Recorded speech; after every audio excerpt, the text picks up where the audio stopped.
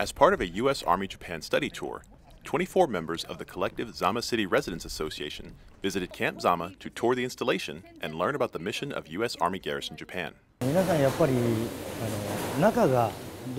members of the Zama City Residents Association have always been interested in what Camp Zama looks like inside the base, what kind of facilities they have, and what life on the base is like.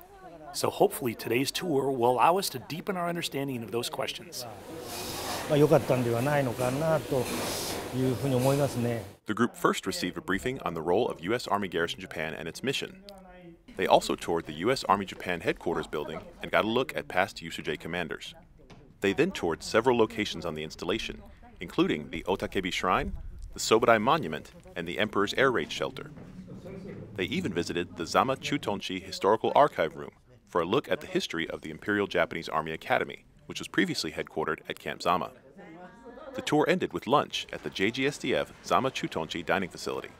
Colonel Thomas R. Matelski, commander of U.S. Army Garrison Japan, and Colonel Masayuki Amako, commander of the 4th Engineer Group and Zama Chutonchi, joined the group. Before I came here, I thought Camp Zama was established only to fulfill a part in the Japan US Security Treaty. But after touring the post today and seeing its many facilities and learning about the unique mission here, I can see that the US Army and the JGSDF work together very closely, jointly performing a variety of missions. The Zama City Residents Association consists of 176 local neighborhood associations within Zama City and includes more than 27,000 family units.